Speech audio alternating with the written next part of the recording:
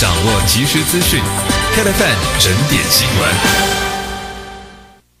听众晚安，欢迎收听即时新闻，我是东森新闻主播陈莹。首先来关心今天的新闻重点。日本政府公布最新 GDP 的数据，显示经济陷入衰退。首相安倍晋三宣布将解散国会，提前改选来争取民众认同延后上涨消费税的政策。专家认为这是一场政治豪赌，但也依然看好安倍有望在改选中获胜。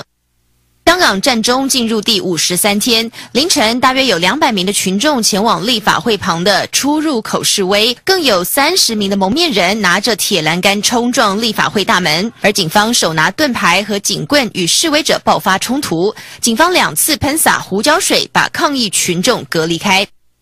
选举倒数，新北市长朱立伦也到现场催票，还派出了吸金的朱古力女孩短袖超短裤现身。但是首次拜票，女孩们零嘴发的太努力，市长早就走得大老远了，还要总部人员提醒才跟上脚步。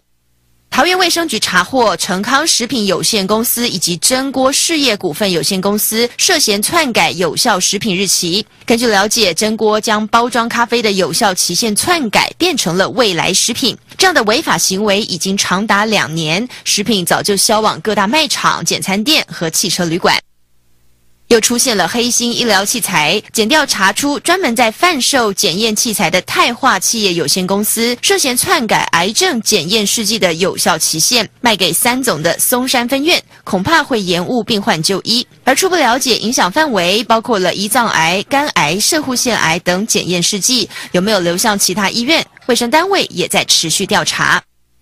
越来越难看到市区有公园绿地了。新北市泸州因为捷运泸州线开通，地价年年上涨。在多次协调之下，新北市终于以公共建设用地基金开辟了泸州公园。二点二四亿的总工程费就花了二点二亿取得用地，把荒地蜕变成公园绿地，让居民多了休闲好去处。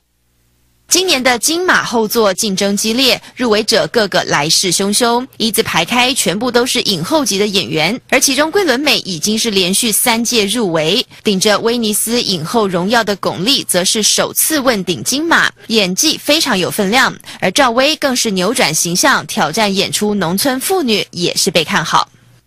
新闻最后来关心天气情况。中央气象局表示，明天起东北季风稍微减弱，气温略微回升。东北部地区有短暂雨，东部、东南部、北部地区、中南部山区及马祖也会有局部短暂雨。其他地区及澎湖、金门、马祖都是多云到晴的天气。